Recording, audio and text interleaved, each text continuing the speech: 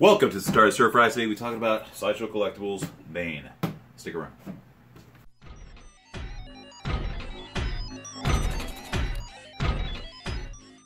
Okay, real quick, we're just gonna go over the box real fast. It's pretty cool looking. Uh, uh, what would you call this? I, am gonna go with a uh, uh, Batman and Robin kind of. No, yeah, Batman and Robin kind of vibe, kind of like the uh, Uma Thurman, Poison Ivy, you know, Joel Schumacher crap. That's kind of what it looks like to me. Not a big fan of this base. I mean, this box. That's what it reminds me of. Joel Schumacher, Batman and Robin. Although this is this is nice. Lightning there. The city's all threatened. And the coolest part of it all is this. Can you see that? Yeah. Really sweet cityscape here. Little scared bats there. He's worn out. Bane just wore his ass out, and he's going to meet him in the Wayne Manor here in a second. So he's pretty depressed. On the other end, just a pull that. On the top, says Bane. I mean, it's okay. Just seems muddy. There's that part, looking pretty good. Again, it's 346 of 800. Whoop-de-doo. There you go. There's the box. All right. Welcome back. Thanks for joining us. This is Sideshow Collectibles Bane here. I'm not going to unbox this in front of you. Look at this thing. I don't have room for that. Check out some other videos. I'll do uh, I'll do some cuts, and we'll get to it. This thing's giant. Okay. All right.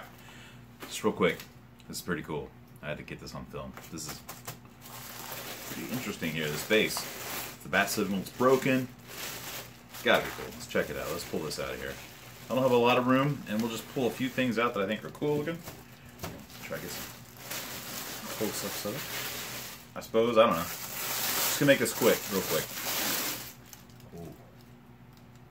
Ooh. All right.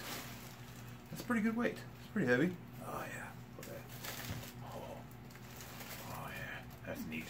So that's 346 out of 800. I guess they only made a 800 of these. And the exclusive is just like a, a luchador mask. Probably like a uh, mid 2000s mask. And then, you know, the standards like the uh, Knightfall series. Anyway, it's got some little chunks in here. I don't want to bore you with all that, but let's, I'll dig it out here in a minute. There's styrofoam everywhere, but look at that. Woo! Oh, yeah. Looks pretty darn cool. It's bigger than I thought it would be. Alright. I always say that. That's true. Okay. Okay. I, slow, as I slowly put this thing together, I gotta tell you, this guy is freaking heavy. Alright. As we get closer to assembling this gigantic uh, savage bastard, I gotta say that there's some similarities in uh, packing they've acquired. It's kind of similar to XM. Every little piece is, is packaged up, which is kind of a different take, I think. And uh, we're just to put all these little bad boys together. Like all these were, they were wrapped up. Seems like there's some care taken to it. There's styrofoam pieces everywhere to ensure that it arrived right. And so far, nothing's broken. It's big. So, okay. All right. As we get closer, here's another example. There's plastic, and then you got this uh, paper wrapped around it. So, I think they're taking a step. I mean, this is a very expensive piece, but I think they're all these all these parts seem really well done. There's weight to them, all of them, especially that freaking body is crazy. There's some details of this glove here. Pretty, rad. Look at those fingernails, those little grippers, those back grippers, the back breakers. Yeah, pretty sweet. That glove's awesome. This is a it's a, it's a big glove. Here's the exclusive head. I'm not sure it's too popular, but check it out. You see? Yeah, looks like a luchador. Actually pretty sweet, those red eyes. I like that. Looks pretty menacing. The stitches in the back there. You can see that. Okay. I'll get closer later on. Just think that that face looks pretty good. Can you see him? Yeah. Yeah, he's looking pretty good. Let's try that first. Alright.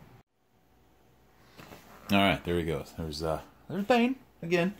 Getting a little closer. I don't know how close that is necessarily, but uh, we can go over it a little bit. Um, I don't know if you can see it, but there's the mixed media. Looking pretty good. Bat signal. And he is a heavy bastard. Pardon my French, but uh, he's definitely weighty. There's that chest. Look at that thing. It's great. I think the same guy who did this, the sculptors anyway. I think I, am mistaken. I didn't look at the box or any of the credits, but I think they are the same people who did uh, uh, Gladiator Hulk, maybe an Apocalypse. A lot of other big pieces. Yeah, let's see. He's even. Let's push him back, if not off the table. Oh shit! Looks like I'm cussing a lot. Um, the tube's actually thick. It doesn't look as cheap. It well, it's not as cheap as it looks actually. This whole part right here comes off. It's pretty thick. There's a weak magnet up there in the middle on his armband. Then it goes up to the top. And these things, there's two of these, and there's one per head, is what it seems like. So they're kind of individually sized or whatever for that. So that's him. I really like that face. I think that'll be hard to take off for me. The eyes, he looks crazed and sickened. He's doped up, just like my uh, daughter apparently, because she was able to pull this thing in the house without, you know, breaking a sweat. So she's grounded. Right, look at that back. I mean, we have a couple rules in this in this house. A house. Some rules in this house that are simple. Make some good grades. No street fighting. No drugs. No vandalism. I mean, that's pretty much it. Be nice. Be cool. Be excellent. She's obviously on drugs if she dragged this in the house by herself. Don't know how she did that. Alright, let's get closer. Alright, here's a look at the uh, venom attachment on the back of his neck.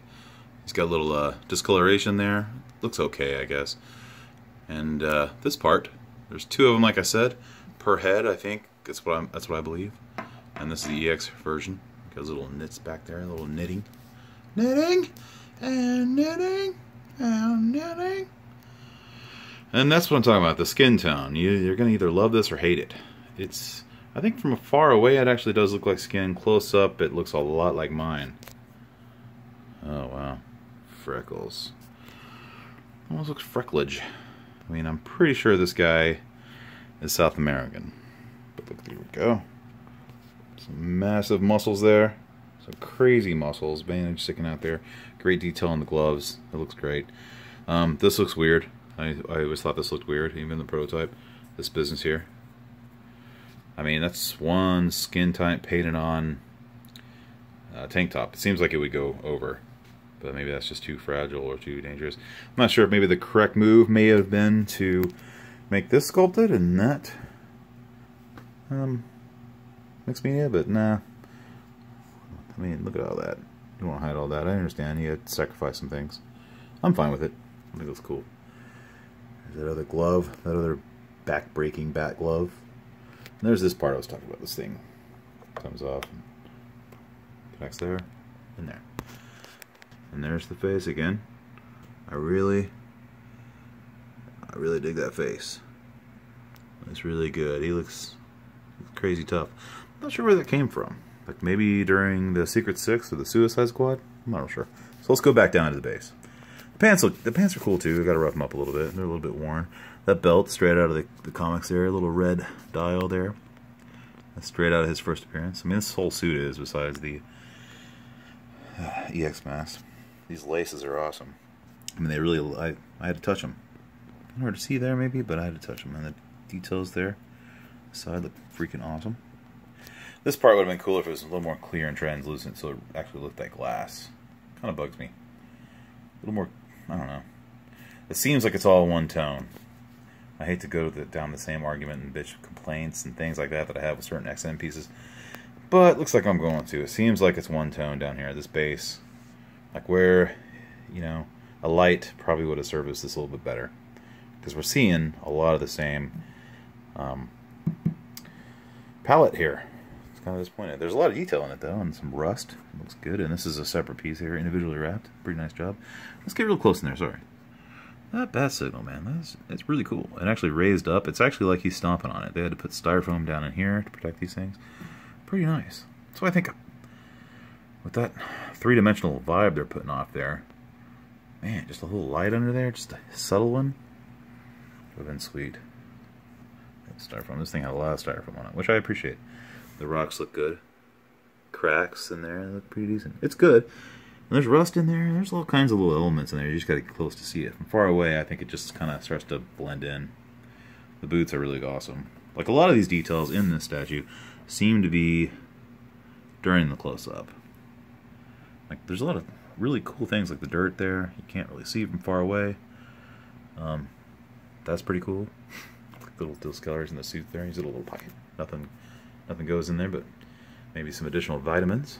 Probably some orange juice or vitamin C tablets. Because you know he's on the juice.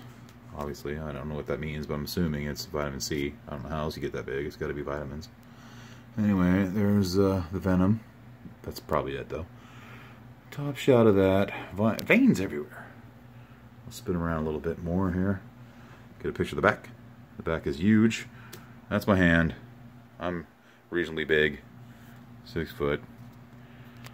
200 and something freaking pounds. But this guy is, uh, he weighs about as much as me, man. It's gigantic. Such a heavy piece. I couldn't believe it. I mean, maybe the Destroyer is close. I have that I'm pretty sure the just the body is heavier than Galactus. I mean, a lot of guys that I have there. He's solid. Like I think you're getting people wanted quality for a long time. Maybe this isn't the perfect piece for everyone, but they wanted Sideshow to do something a little more. Oh, there's a weird gap there. That kind of sucks. They wanted Sideshow to do some, you know, stop putting out hollow pieces of crap for five hundred dollars. So they're gonna charge you six or seven, whatever this is, and let you break a sweat pulling them out of the box. Alright. Hold on a second. Okay. I may have had the wrong one on there. Because uh, this a little more flush, it looks pretty good. And man, going to be hard to pick ahead. Look at those eyes. They're reflective. They kept that light. Ah, man. Damn. That is looking good. Okay, that was a look at uh, Sideshow Collectibles. Premium format Bane. This thing is big, heavy, well done. Just lots of detail. Tons of it. Hold on. Uh, toast to the vengeance of Bane. Uh, thanks for checking it out. We're going to do a really quick side, uh, comparison um, with another statue. So I appreciate it. Hey, stick around. Uh, we're going to have more things. So uh, remember, Magneto was right. Here we go there's a size comparison with the uh, modern version of uh, the premium format of Batman here, the blue version, and the current Bane here. Now, there's a fun fact you need to know. Um, a lot of people gravitate towards the black and all that bullcrap, but during the Knightfall series, check it out, download it, buy the hardcover. There's an omnibus out now. Get some back issues if you want to go to your local comic store, and you'll find out that Batman was actually wearing these colors. He was representing blue yellow and he got ass kicked for it. Once again, thanks for checking out Centauri's